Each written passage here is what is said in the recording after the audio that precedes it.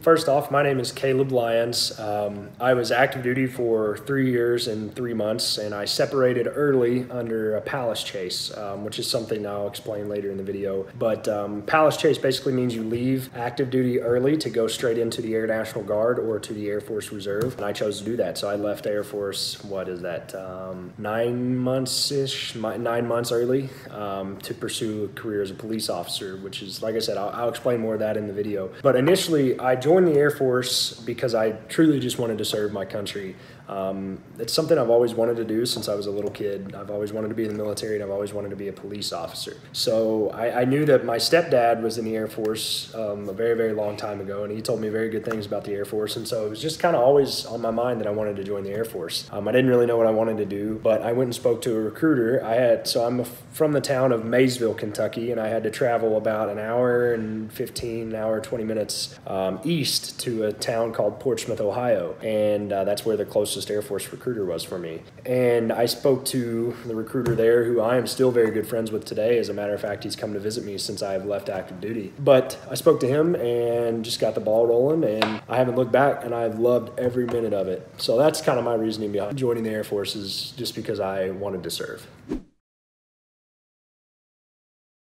Okay, so I as I already said, I, I've been in the Air Force. I was active duty for three years and three months, and I just moved to Wisconsin, which is where my, my wife is from. We moved up here, oh man, it's been, today's like August 8th or something. So we just got moved up here less than three weeks ago or so. Um, so I moved up here and I enlisted in the Air National Guard just the other day. So I was on terminal leave and enlisted into the Air National Guard. So now I've been in three years and four months or so um, but three years and three months of active duty. And my current rank right now is I am a senior airman, so I'm an E4. Tested for staff sergeant actually this year before I Palace chased was my first time testing for staff sergeant, and actually I think we I think I would find out if I made it next week or sometime like that. So if I would have stayed in, I would have been pretty excited to find out if I made staff sergeant. Unfortunately, when you transition from active duty to the Air National Guard, um, if you did not already so on staff sergeant and had at least six months in that rank. I think it's six months. Someone else can correct. Um, if you didn't have that rank on for at least six months, you cannot transition to the Air National Guard with it. So even if I did make staff sergeant in active duty my first time trying, I can't put it on in the Guard. But the slot that I took in my shop in the Air National Guard is a staff sergeant position. Um, since I'm already qualified in my job, all I have to do is complete ALS, which is Airman Leadership School, and I would promote up to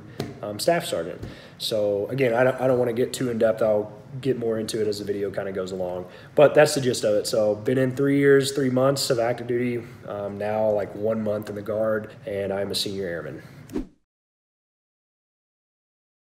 Okay, so the name of our job is Water and Fuel Systems Maintenance. Um, the AFSC number is 3 Echo 4X1. Um, I'm a 3 Echo 451 because I have, once you get into the Air Force and kind of learn a little bit more, it'll make more sense to you. But I've completed what is called my CDCs, my career development courses, which is something you do after tech school. And I've um, completed my upgrade training. So I'm not considered like in training if that makes sense. So I'm a 3E, 4, 5 one. So you, I got my 5 level. So it's like 3, 5, 7, and 9 is, is how it goes. And 9 obviously being maxed out in your career field kind of thing. Typically, I think I think you get your 7 level staff sergeants get it. So yeah, that's kind of I'm getting on a tangent there. But so, yes, that's our AFSC number, 34X1. But what our career field does is is plumbing work, basically, plumbing and fuels work. So I found that at my base, I was stationed at Scott Air Force Base in southern Illinois,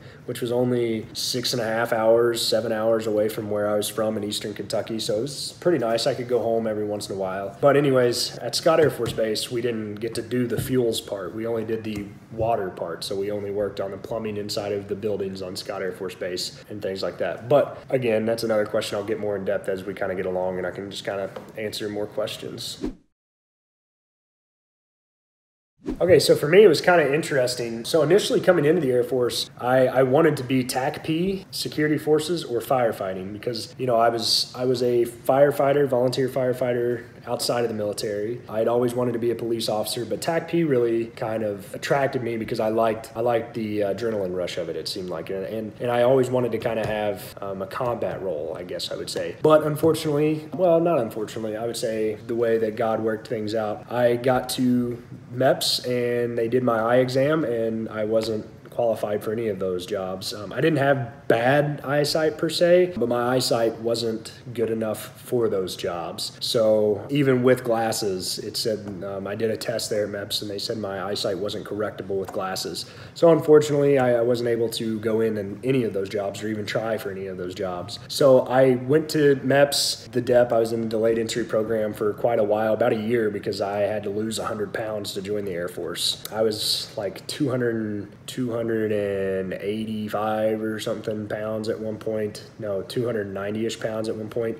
And I lost about, like I said, about 100 pounds. I got down to like 195 ish or whatever. Um, I'm six foot tall, so my max weight was like 203. So I had to get down below that to, to actually get into the DEP, or I guess get into basic, I should have said. That's a long way of saying that no, I did not have this job at the DEP, I came in as open mechanical. Uh, I wanted, once I found out I couldn't do those jobs, I wanted to be a part of what's called CE squadron, uh, the civil engineer squadron. I wanted to be a CE guy. Um, so I said, okay, well, I'm going to do open mechanical because I knew that CE jobs were mechanical jobs. And surely, with all the different career fields, you've got HVAC, plumbing, power pro, electrical, structures, um, heavy equipment operator. Um, I'm sure I'm oh firefighting is in and EOD for some reason is in the C squadron.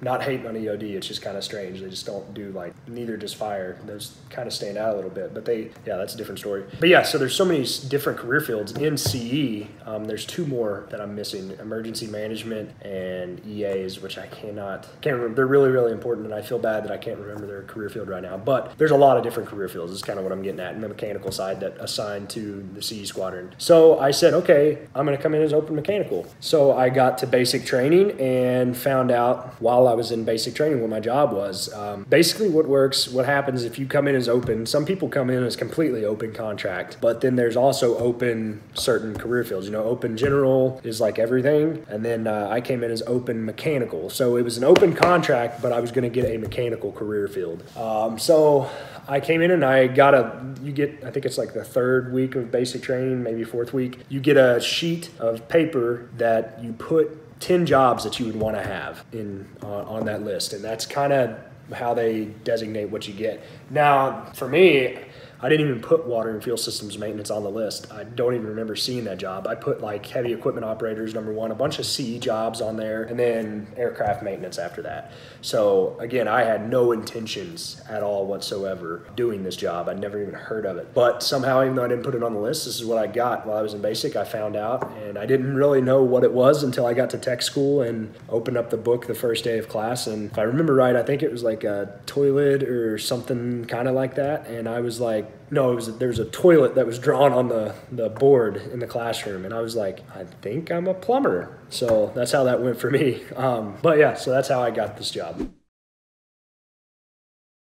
Let's be a short answer. As I already said, no, it wasn't something that I wanted to do. I'd never even heard of it, didn't really know anything about it. But I, in my time in the job, I found that I really loved it, and that's why I've continued to stay in the same job in the Air National Guard. Even though now moving to Wisconsin, where my wife is from, I've been hired as a police officer at a department, and I'm in the police academy. I'm not doing anything obviously related to plumbing or water and fuel systems maintenance. I'm not doing anything related to that. But I found that I really liked that job, so I wanted to stay and do it as much as I could with the Air National Guard. So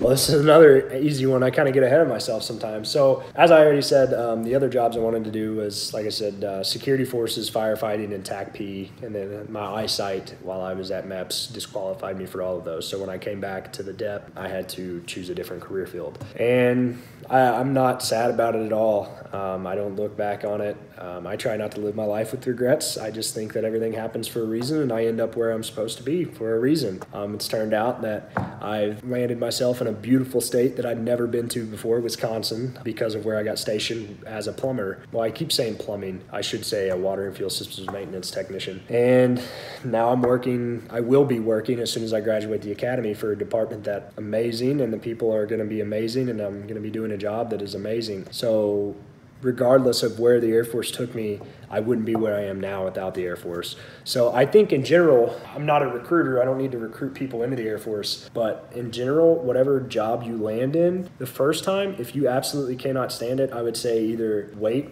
and take some time, get into it more, get more involved, volunteer for more things involving with it on your base and in your units and the people that you're working with. And if you still don't like it, then number two, retrain. I mean, there's going to be opportunities while you're active duty. I mean, sometimes it's a little difficult, you know, like air traffic controllers, jobs like that, you can't retrain. But there are, op- you, you can, but it's just difficult. You know, it's an undermanned career field. But there's opportunities out there to retrain. I would not say get out of the Air Force because you don't like your job at that time. Unless you're like at a special circumstance like I was where I wanted to be a police officer and there I knew that there was going to be an opening coming in the civilian world so I put in to be released early so I could get that position and it just so happened that it worked out and I'm where I'm at now, you know, I'm in the police academy and I have the job that I wanted. I would not recommend getting out just because you don't like your job. Give the Air Force a chance to move you or to change jobs. And another thing which I'll let me wait and see if another question actually asks that, and I'll address it. Okay, again, so I signed a four year contract. I was tempted to sign the six year contract, but at the time I was like, okay, I know I've always wanted to be in the military and I know I want to be a police officer one day, so let me just kind of test the waters and see where it's at. So I signed a four year contract and I had every intention of finishing out that four year contract. I'm not a person that likes to quit before I'm supposed to, and I'm not a person that likes to break a commitment. But I don't think of it that way really for what I did. Um, I did what's best for my family and it's worked out out for me, and I'm still serving in the Air Force. But I Palace chased, which is something, like I said, you'll find out once you're active duty, a little more information about it. But for airmen that are at least halfway over their contract, so for a four year contract, you have to be at least over two years, six year, you have to be at least over three, um, you can apply for what's called Palace Chase, which allows you to separate from active duty early to go to the Air National Guard or Air Force Reserves. But you have to go straight into that. You don't get all the way out which I didn't want to do anyways. I still wanted to continue to serve in the Air Force, but I, through networking with my wife's fam- family and friends and, and just learning information about up here where I knew we were going to move to when I got out, I found out that there were some openings that were going to come up in a police department, and I knew that a lot of officers were starting to retire in this area around this time. So I said, I'm going to put in for a Palace Chase because I don't want to get up there at the end of my four year contract and be waiting years to get a job because of how competitive it is up here for policing. So I put in for Palace Chase, and my my commander, who I was very blessed to have too, she was an awesome commander. Lieutenant Colonel Scott was her name, um, now Colonel Scott. She was an amazing commander, and she um, approved my package to come to the Air National Guard and separate from active early. It was tough because I really, really loved the Air Force, and they talk about people that bleed blue. I was definitely one of those guys, and I still kind of do bleed blue. Uh, I love the Air Force, but it was tough I knew I was doing what was best for my family, and I knew I wasn't going to make a full active duty career out of the Air Force. But I know I'm going to try to make a career out of the Air National Guard. Um, and by career, I mean stay in as long as I can past 20 years in the Guard because it's just part time and I can still deploy and be involved with the Air Force. So that's what I did. So I served three years and three months active duty and separated about nine months early. And now I'm in the Air National Guard in Wisconsin, which is a completely change, com- complete change from where I grew up in Eastern Kentucky. So there's that. Okay, so water and fuel systems maintenance goes to Sheppard Air Force Base, which is in Wichita Falls, Texas. I hear so many people talk bad about Wichita Falls, but to be honest with you, I loved it there. I, I like Texas a lot. Texas is an amazing state. Anybody that's watching this that's from Texas, I'm sure you'll agree. There's there it's just, it's just a great state. Um, I loved the people there, but Sheppard, um, you kind of the base didn't really have a whole lot to do. I mean, they had an airmen's club, which is something you'll find out when once you're there. It's, it allows like people to to come and hang out, and play pool and stuff like that, and buy alcohol if you're 21 years of age. Actually, I don't even know. I could be wrong, but I don't know that you can even get in there if you're not 21. No, I think you can. I, I, don't know. They might have changed it. But anyways, they have an Airman's Club on there. There's a little shopette with a GameStop and things like that. Like a lot of guys had their Xboxes in their dorm rooms and stuff. Um, but really, I found that you're just so busy trying to study and just go and explore the community that you're in for like the new place that you just didn't really have time to play Xbox. So yeah. So anyways, I was like I said, um, at Sheppard Air Force Base in Wichita Falls, which is a really nice, well, it's got its rough parts, but it's a really cool place to be. It's really beautiful out there. The sunsets are gorgeous. It's really flat, which is, you know, Texas and Oklahoma kind of thing. But there's places that you can go and explore. There's a I think it's called the Wichita Mountains Refuge Range or something like that. It's just about an hour, maybe 45 minutes north of Sheppard Air Force Base in Oklahoma. And you can go hiking there, rock climbing. It is absolutely gorgeous. I've got pictures with my classmates from tech school there together, and it was just gorgeous. So take advantage of that. You know, there's taxi services you can get a hold of and go and see Wichita Falls, the city, go to the mall, go to restaurants. The area is really pro military because there's an Air Force base there. Um, but be careful because they know, I think it's kind of gotten around that it's a tech school base. I mean, there's a majority of it, I would say, is tech schools. Um, so they're kind of they kind of know they can take advantage of people because some people are 18 years old or, or 17 and just straight out of their house and straight out of high school and they have no idea how to handle the real world. So be careful, but have fun. So I think it was about four months, if I'm remembering correctly. I got there, I got to tech school in the middle of July of 2016 and we graduated i want to say like the very first week of december i think is when we graduated. So it's about four months let's see so august september october november yeah about four months. Um, and it's it's tough and learning is tough and i was never really good in classroom settings and reading books and things like that. It's tough but it was it was really fun. I had a great time and i'm still I would consider some of my classmates from tech school my best friends. It's, it's a lot of fun. You're going to make a lot of friends there. Um, so don't, don't rush it. Enjoy it while you're there. So tech school for me, I really enjoyed it. Um, at Sheppard Air Force Base in Texas, I bought a longboard, which I have the coordination of like a baby giraffe, so I'm not coordinated at all. But I bought a longboard and I used it to ride with my friends um, all over the base, pretty much, and that was how we got around because people had cars, but a lot didn't. I mean, you meet those guys that are like 18 years old, have their first job, and they go out and they buy a brand new Mustang. Don't be that guy, okay? Please don't be that guy. And I'm not dogging on the people that do, but actually I kind of am dogging on the people that do. Don't make a dumb financial decision when you're in tech school. Save that money and set yourself up for success in your future endeavors and things. Because I used to be that guy that lived paycheck to paycheck don't be that guy. But anyways, that's on another tangent. Yeah, so that was how we got around. Pretty much was longboarding. Um, and we had a there was two guys in our class that had vehicles, um, so we used their cars like on weekends and stuff to go to other places and go see places and things like that. And it was a lot of fun. Um, so yeah, I would say I completely enjoyed my tech school experience. Um, I volunteered to be a rope.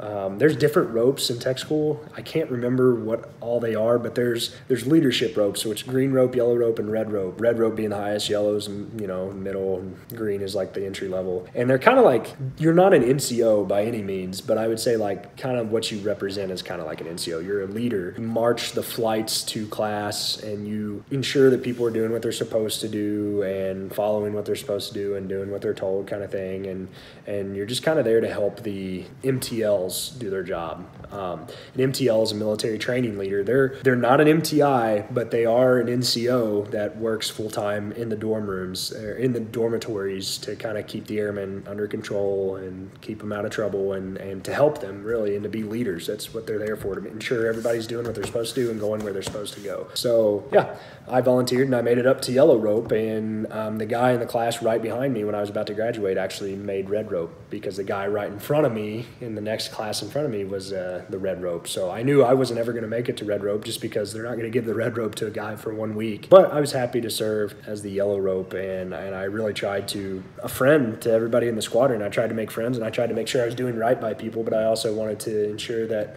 you know, people were doing what they were supposed to do. Not because I wanted to be some rule following crazy person, but I just, I wanted people to do well and I wanted to see people not screw up because I heard stories about so many people screwing up in tech school and there's just so many opportunities when you leave there. Don't, don't mess it up, you know.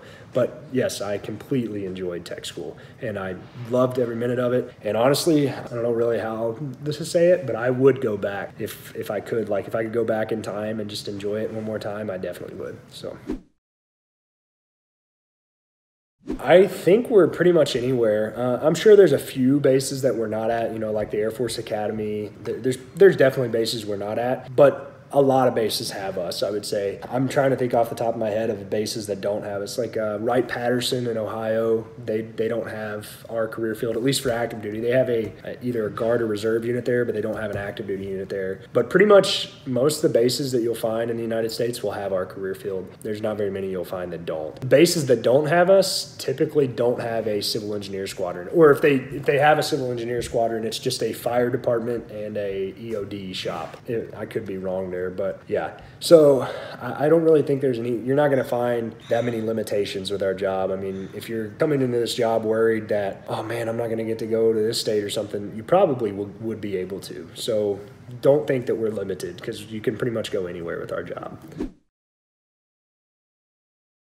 Our job is to do pipeline work. So you work on you work on the plumbing. So you work in bathrooms, you work on uh, drinking fountains, you work inside of the walls of buildings that have leaking pipes or anything like that. And actually, a lot of times I found that we were working pretty closely closely with HVAC because they have some water lines that go to some of their assets. And you know there was a lot of confusion. Sometimes HVAC would be like, "Well, yeah, but it's your guys' asset. It's not ours," and you know back and forth sometimes. But in the end, the job gets done and you work together. But yeah, so basically, what you're doing on a daily least for what I did. Some guys have a different experience because my base didn't have fuel systems that we actively got to work on. But what we did on Scott Air Force Base, I'll just speak of Scott Air Force Base, and a lot of bases kind of have fuels contracted out. So I'll just speak for what I know from Scott Air Force Base. We did the plumbing lines. Um, we we helped with sewer lines and, and water lines like that. There was a contracting company on on our base called American Water that actually did all the main water lines, water main breaks, and things like that. But we there were opportunities to go and help there and I uh, I've got to do a dig before and replace a sewer line on base, um, a sewer main that was broken, and a lateral line that was broken. But a lot of a lot of the work that we do is really just going and, and working in bathrooms and working fire suppression systems is a huge portion of it. That's something that I didn't really get a lot of exposure to, but the guys that have said that it's really really cool and that it's a lot of fun. But you get to work on fire suppression lines and, and pretty much every building on base and maintaining them, making sure they work. You know, safety for people that work there, and then fuel side side, like I said, I, I, can't speak much on it because my entire active duty experience was just the water side, other than tech school. But fuels, you you get to work on the fuel systems that have that bases have or that that supply the trucks that POL works on or the, the aircraft, you know. So there's like on our base, there are big fuel tanks that had um, all of those. Well, you're not in tech school yet if you're watching this video, I wouldn't think. But in tech school, you'll see like all the check valves and fuel valves and everything that are on a fuel system. They're really, really complicated, but it's really cool if you can kind of get it down and remember it and, and whatnot because you can take that to the civilian world and just make bank in the civilian world. Those jobs pay so well if you get out. But yeah, so like I said, said, I don't have much experience with that side. I mostly did the water side, and that's kind of all my friends are on the water side. But I have friends that have worked in a fuel shop too, and absolutely love it. Um, and I had a had an NCO in my shop that was a go getter, and he was really good with fuels too, and, and he understands it. And he's getting ready to move to Nellis Air Force Base, which is a Red Horse base out in Nevada in Las Vegas. But yeah, so I'm going all over the place talking. But yeah, so basically that's that's what that's what the job did and it's a really cool job once you kind of get into it and start doing it. You get to work with your hands, you get your hands dirty. And I don't mean with human feces dirty. I mean, sometimes you might get it on you, but it's a job where you learn how to stay clean. I'll say that. Like you, you learn to wear gloves a lot, and and you don't want to take that stuff home to your family, obviously. But yeah, I like getting dirty. I like getting in holes. I like getting um, you know dirt and mud and and just working hard. So that's what I got to do with that job. Okay, if you want to be successful, be positive. I, I don't know a bigger thing to say than that. Like, if you want to succeed in pretty much anywhere in the Air Force, be positive. Really invest your time in the Air Force. Obviously, keep time for your family, but put forth the effort. And it's not hard to succeed in the Air Force. It's really not. Just work hard and have a positive attitude and be willing to help those around you. You know, when somebody needs help and somebody's asking for help, or even if they're not asking for help, be willing to be there for somebody. Be a good wingman is what, you know, we say in the Air Force. And and that's really that's an easy question for me to answer is that that's the advice i give to all the new airmen that I, I had that came into the shop i just said hey be positive be ready to learn and go out there and just just work hard that's all you can do all right, so um, really, uh, I have social media. You can feel free to hit me up. My name is Caleb Lyons. Uh, my Instagram name is Caleb Lyons24, I think is my Instagram name. Uh, but yeah, if you want to find me, I'm sure I can get the info to Kyle Gott here on his page, and and um, yeah, and we'll figure out a way for you to get in contact with me. But please, if you have any questions at all, I love telling people about the Air Force, and obviously, if you can't tell by the video, I like to talk. So yeah, thank you so much for watching this video, for wanting to learn more, and I really wish you the best in the future with your Air Force, and I, I hope you're able to make it career, make it a career if it's for you. It is a very good life, a lot of good benefits, and just so many opportunities. Really, you get to network so much, which is something as you get older you find is really, really important. So I just wish you guys the best and just thanks for listening and really, truly good luck and go out there and kick butt. See you guys.